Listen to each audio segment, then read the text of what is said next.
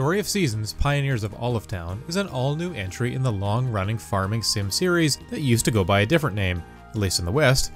This is the third game on Switch and arrives not even a year since the Friends of Mineral Town remake, which I reviewed here. In my preview for Pioneers of Olive Town, I had made my way through the spring and summer seasons, enjoying the progress I was making and the areas I had been opening up. With more than a full in-game year under my mud-covered overalls, I'm ready to announce a final verdict. But first, let's take a stroll through the seasons as I highlight my life as a plucky pioneer. The concept of inheriting your grandfather's farm is well trod to say the least, and the same trope is used in Pioneers of Olive Town.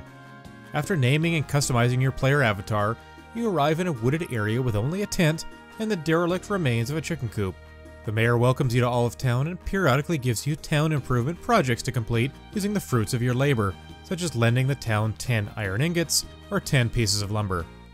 The overall objective remains the same as in similar farming themed titles restore the farm to prominence, form relationships with the townspeople, get married, have children, and explore and shape the land to your liking.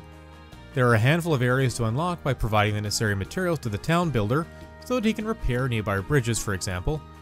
Multi-floor mines can be explored, and hidden areas filled with helpful sprites and minigames can be discovered by searching high and low.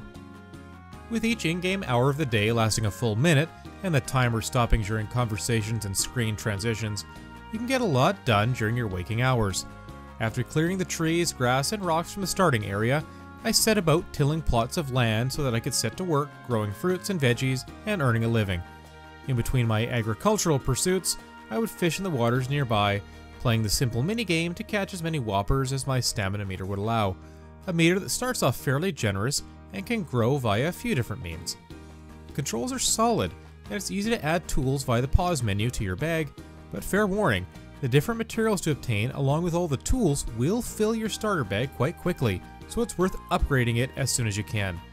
One specific reason why the bag fills so quickly is because of the time-intensive crafting mechanic, which involves constructing machines in the crafting menu so that you can process ore into ingots, clay into bricks, and wood into lumber. Even food ingredients are transformed into different products, like milk into butter for instance. The major drag here is that each machine can only produce one object at a time, generally taking between 2 and 8 minutes, so you'll need multiple machines all working away to complete all your projects. While the base set of tools that you'll need on a daily basis are given to you almost immediately, upgrading them is vital for collecting the materials in the areas you open up later in the game. Some tools like the axe and hammer absolutely must be upgraded, or else it'll simply take too long to cut down tougher trees and smash sturdier stones. The watering can, on the other hand, can probably wait, since you can craft sprinklers that automatically water your plants and crops. The variety of flowers, produce, and forageables is fairly high, but there's also a museum where you can display the fish you catch, the treasures you unearth, and even the photos of wild animals you come across. Online functionality is minimal but interesting.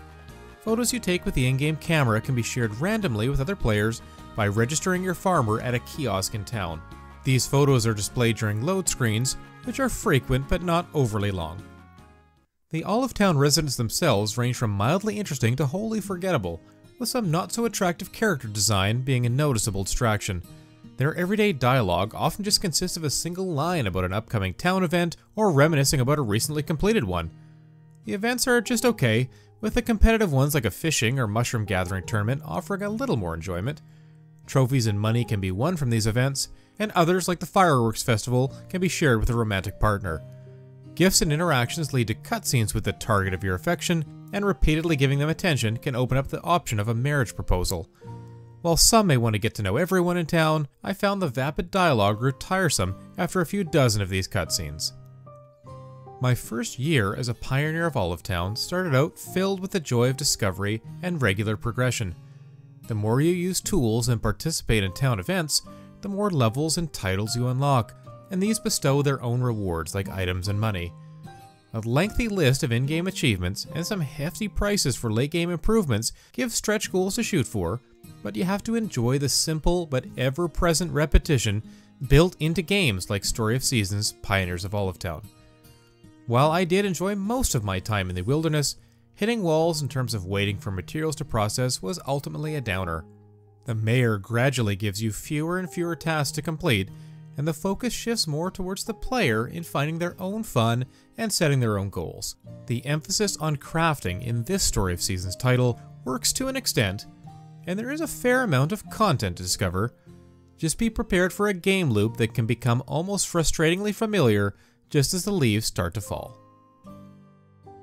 This video was made possible by our generous supporters on Patreon. Check out patreon.com slash NWR for all the details.